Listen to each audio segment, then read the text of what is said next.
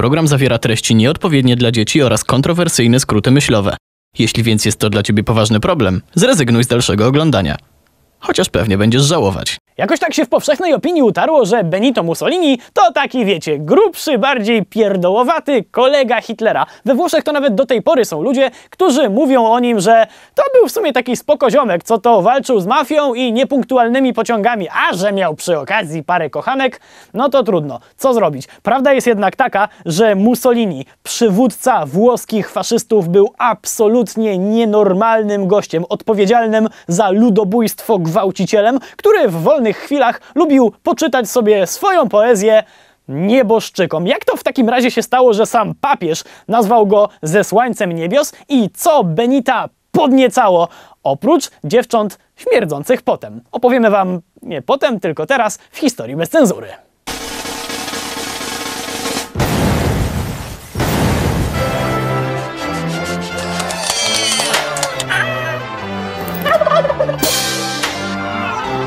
C'est.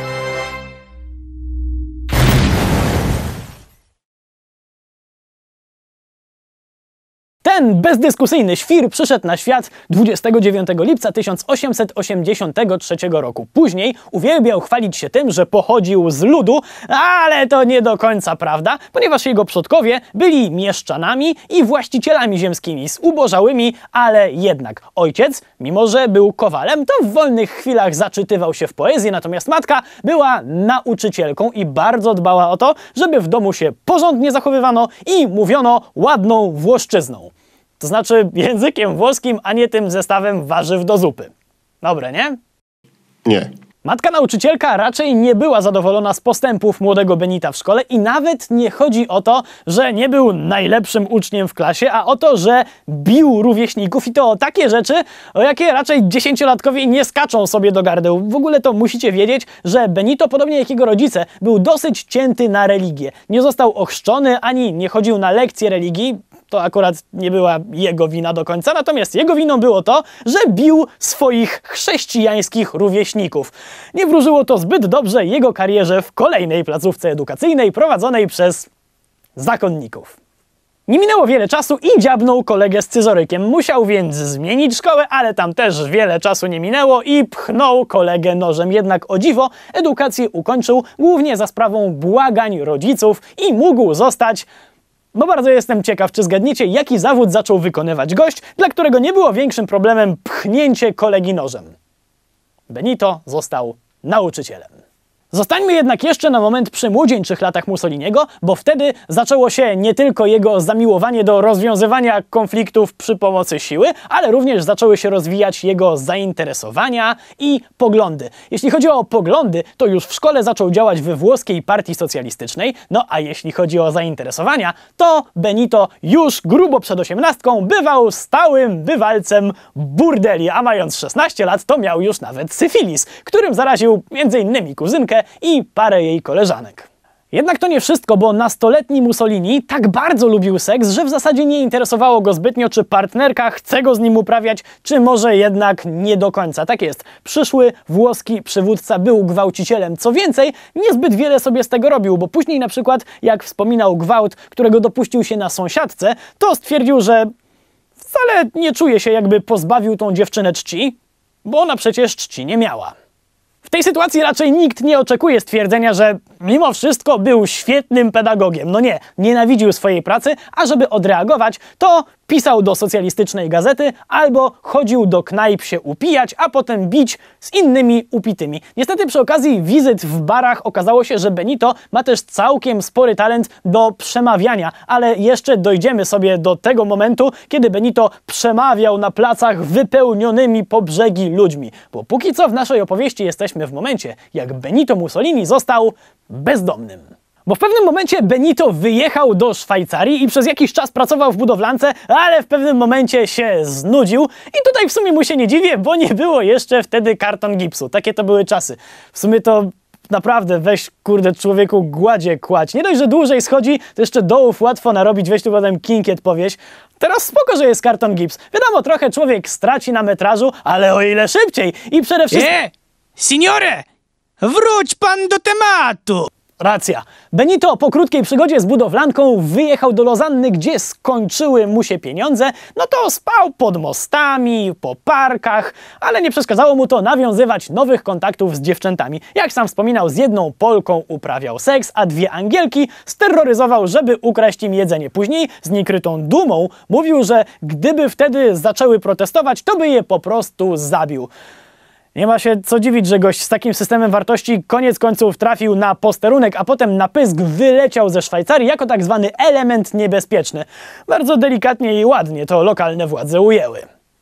Benito wrócił więc do ojczyzny, gdzie zajął się byciem kijowym nauczycielem, piciem z lokalnymi menelami i w wolnych chwilach czytaniem własnej poezji zwłoką na cmentarzu. Może się bał krytyki? Nie wiem. W każdym razie, jak łatwo wywnioskować, nie szło mu w życiu zbyt dobrze, a czasami tak bywa, że jak ktoś jest nieudacznikiem, to się bierze za politykę. A że socjalizm Mussolini kochał w sumie prawie tak bardzo jak seks, to bohatersko stanął na czele strajku i jak na nieudacznika przystało, trafił za to do więzienia. Jednak tak samo jak w przypadku Hitlera zadziałało to dokładnie odwrotnie. Pobyt w pudle przysporzył mu jeszcze więcej fejmu, no ale zaraz, bo polityka to jedno, a seks to co innego. Jak wyglądało życie łóżkowe przyszłego włoskiego wodza w tym okresie?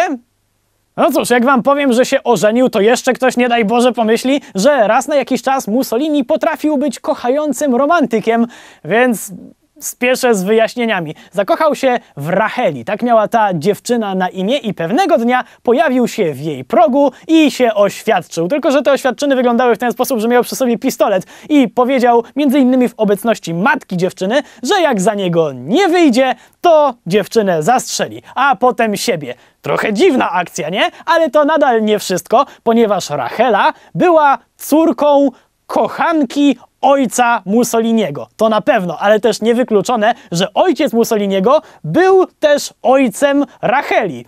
Prawdziwa brazylijska telenowela tylko po włosku. Ale pokręcona sprawa! No. Benito i Rachela zamieszkali więc w jakiejś zapleśniałej norze i płodzili kolejne potomstwo. A jakim mężem był przyszły przywódca Włoch?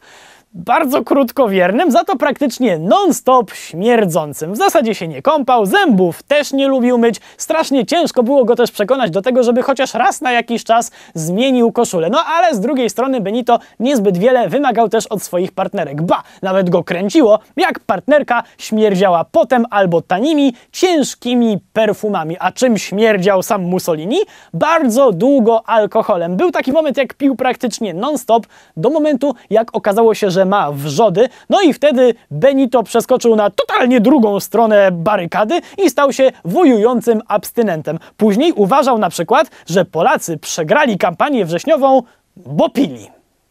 W międzyczasie Benito robił coraz większą karierę w socjalistycznej partii, ale do czasu, bo w pewnym momencie, jak z tym alkoholem, ze skrajności w skrajność, Benito został nacjonalistą. Nie tylko założył własne pismo z takimi właśnie treściami, ale uznał, że to jest super pomysł, żeby wesprzeć Niemców w I wojnie światowej. Ba, nawet sam ruszył na front i tyle brakowało, żeby już z niego nie wrócił. Bo podczas kursu obsługi miotacza min coś poszło mocno nie tak i jedna z nich wybuchła. Zginęło pięć osób. Niestety nie Mussolini, ale na pocieszenie mogę powiedzieć, że dostał odłamkami i to ponad 40. W ogóle, jak już Mussolini był potem dyktatorem, to o jego wojennej odwadze propaganda trąbiła jak tylko głośno potrafiła. Natomiast prawda jest taka, że wcale nie był takim kozakiem i to nie tylko na froncie, ale też poza nim. Już po wojnie. No bo na przykład jak pracował do późna, to nigdy nie wracał sam do domu, bo się bał. Zawsze ktoś go musiał odprowadzić. Jo, Benek! Może skoczymy na miasto?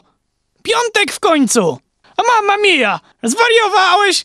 Już grubo po dziewiętnastej. Po pierwszej wojnie już całkiem Mussoliniemu odwaliło. Założył organizację zrzeszającą byłych żołnierzy, która to w 1921 roku przekształciła się w partię polityczną. Ta ekipa bardzo populistycznymi hasłami zgarniała coraz większe poparcie i w pewnym momencie Mussolini uznał, że to jest dobry moment, żeby zorganizować zamach stanu. Więc w 1922 roku, więc nie minęło wcale aż tak dużo czasu, faszyści w czarnych koszulach ruszyli na Rzym. Tylko, że wbrew temu, co się później mówiło, to nie była siła nie do powstrzymania. Spokojnie, gdyby ówczesne władze chciały, to można tych ludzi było wystrzelać albo powsadzać do więzień, ale król zdecydowanie nie chciał rozlewu krwi. Zamiast tego, żeby załagodzić sytuację, to uczynił naszego seksoholika psychopatę premierem w pełni legalnie.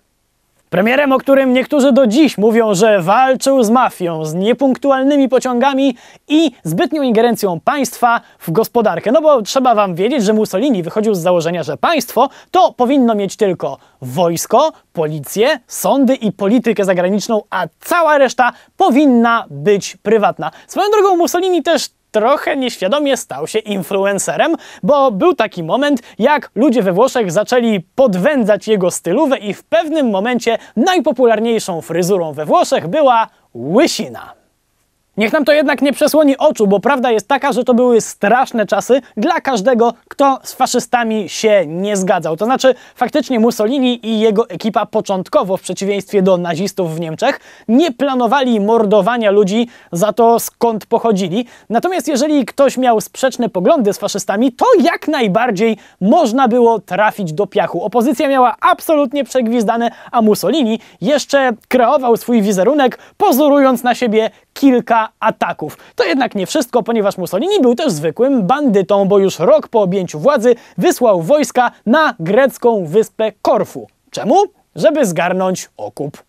To znaczy, okej, okay, to była trochę bardziej skomplikowana sytuacja, bo Mussolini rzucił wojska na Grecję, jak zabito w Grecji pięciu włoskich członków Międzynarodowej Komisji Granicznej. Tylko, że Mussolini zupełnie olał takie rzeczy jak negocjacje czy śledztwa. Nie, po prostu rzucił wojsko do desantu i bombardowań. I dopiero jak przerażeni Grecy zapłacili okup, albo ładniej rzecz ujmując odszkodowanie, to wojska kazał wycofać. Jednak jeśli ktoś myśli, że to jest najgorsza rzecz, jaką zrobił w życiu Mussolini, Mussolini, to oczywiście jest w błędzie i wcale nie chodzi mi o to, że zakazał pornografii, bo to swoją drogą też zrobił. W 1935 roku Benek, nazywający się też Duce, czyli wódz, zaatakował Abisynię, czyli dzisiejszą Etiopię. Czy lokalnym mieszkańcom się to podobało? No nie do końca. Czy Mussoliniemu podobało się to, że im się to nie podobało? Też nie do końca. W związku z czym wydał rozkaz o użyciu gazów bojowych na zbuntowanej ludności. To była po prostu zbrodnia wojenna. Zbrodnia, o której nikt miał się nie dowiedzieć, ale wygadał się Czerwony Krzyż, za co później Benito przypadkiem bombardował ich namioty. A co poza karkołomną polityką robił Ducze? Duczył, a, przepraszam, dupczył. Ten żart wymyślił Paweł, za co teraz bardzo proszę o aplauz. Dziękuję serdecznie. W każdym razie Benito zaliczał kolejne dziewczyny, a niektórzy to nawet twierdzą, że ich chłopcami nie pogardził. Na liście jego miłosnych podbojów miała się znaleźć nawet włoska księżniczka, ale teraz w większości dziewczyny same pchały mu się do łóżka z uwagi na wysoką pozycję Mussoliniego. Już nie gwałcił, ale pewnie tylko dlatego, że już po prostu nie musiał. Co jednak nie znaczy, że wypracował sobie jakąś niesamowitą bajerę. W zdecydowanej większości jego podryw ograniczał się do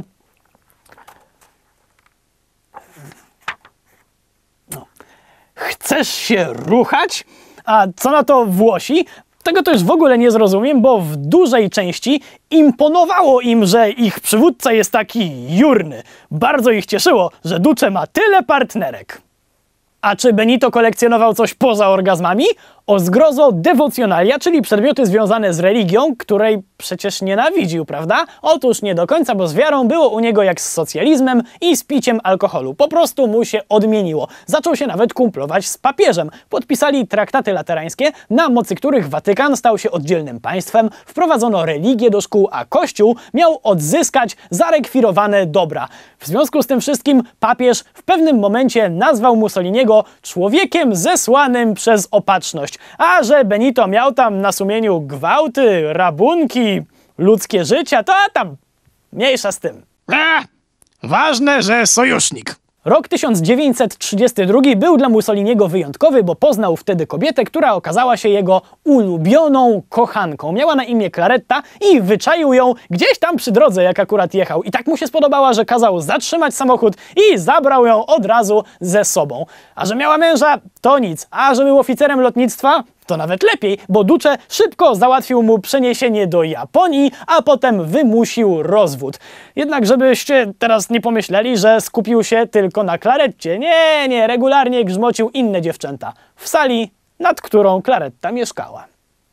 Przyszły jednak czasy, kiedy Mussolini ku własnemu zniesmaczeniu musiał trochę mniej seksu zacząć uprawiać, bo akurat toczyła się dość tęga wojna, konkretnie druga wojna światowa. Chociaż na początku wszystko szło naprawdę ok, ponieważ Hitlerowi i jego kumplowi wszystko w zasadzie się udawało, a kiedy okazało się, że włoskie wojsko wcale nie jest takie wybitne, jak sobie Mussolini wmawiał, to Hitler po prostu przysyłał swoich ludzi, jak były jakieś problemy i wszystko szło elegancko. No ale przyszedł rok 1943.